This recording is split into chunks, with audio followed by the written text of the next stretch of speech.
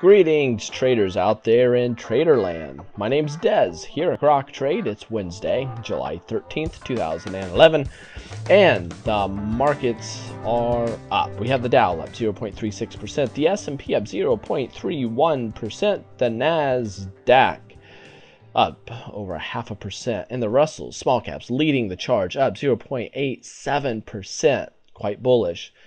We have the banks up 0.97%, leading all major indices. However, VIX, volatility index, creeped a bit higher. We have gold up, we have silver up, US dollar down a big chunk, down 1.06%. Crude oil up 1.11%. We're knocking at the door $98 per barrel. And we have transportation index giving support to the Dow up here, and but we have a very low trend reading, which is quite bullish on the close. However, this could prove to blow up on us going into tomorrow's open. Now, speaking of tomorrow's open, pre-market, we have some major news coming out. We have retail sales reporting.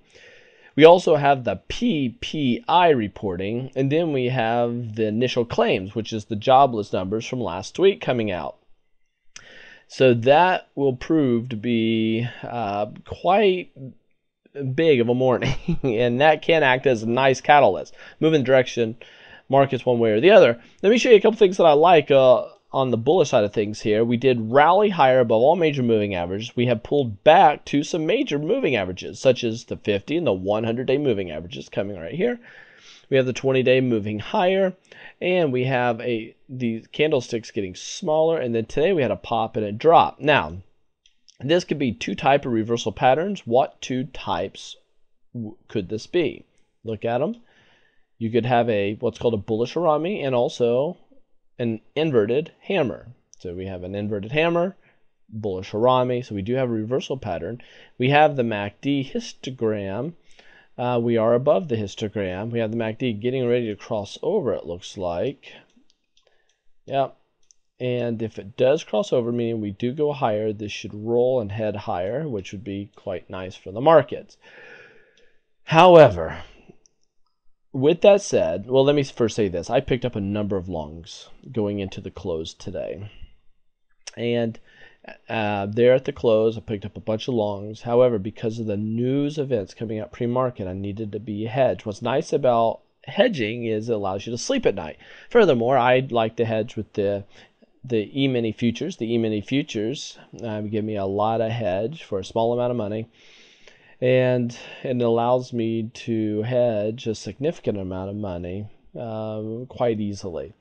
Now, with that said, I went ahead and got myself hedged because with the e-mini futures, I can add to the uh, that hedge or take away from that hedge or completely take the hedge off pre-market. I uh, the futures trade 24/5, so I can trade those at any time, which makes um, which makes things nice. The flexibility is really really nice. So I'm well protected. And then when the news starts breaking tomorrow, I could add to my hedge or take off of my hedge.